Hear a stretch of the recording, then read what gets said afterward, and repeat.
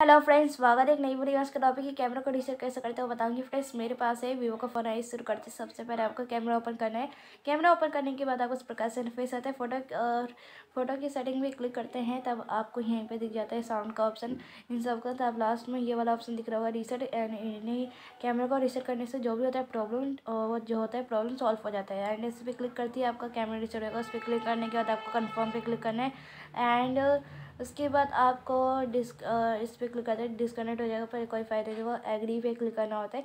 And इसी तरीके से आप अपने फ़ोन में कैमरा को रीसेट कर सकते हैं। वीडियो शूट करने समय कोई प्रॉब्लम आ रहा हो, एक बार यहाँ से रीसेट कर देते हैं, सभी रीसेट हो जाते हैं कैमरे में। अगर बाई चांस नहीं हो रहा है वीडियो में, तभी भी तो वीडियो की सेटिंग पे क्लिक करके एंड इन्हें भी रीसेट करेंगे। जो भी होता है वीडियो शूट करते समय प्रॉब्लम सॉल्व हो जाता है। एंड इन्हें भी रीसेट करेंगे और इस तरीके से और उसके बाद आपको इस पर क्लिक करना है एग्री पे क्लिक कर देना यानी कि आपका कैमरा रीसेट हो चुका है। रीसेट करने से जो भी होगा प्रॉब्लम सॉल्व हो जाएगा। एंड इसी तरीके से आप अपने फ़ोन में कैमरे को रीसेट कर सकते हैं। और फ्रेंड्स प्लीज़ मेरी वीडियो को लाइक कर चैनल को सब्सक्राइब करो। फ्रेंड्स तब तक के नमस्कार।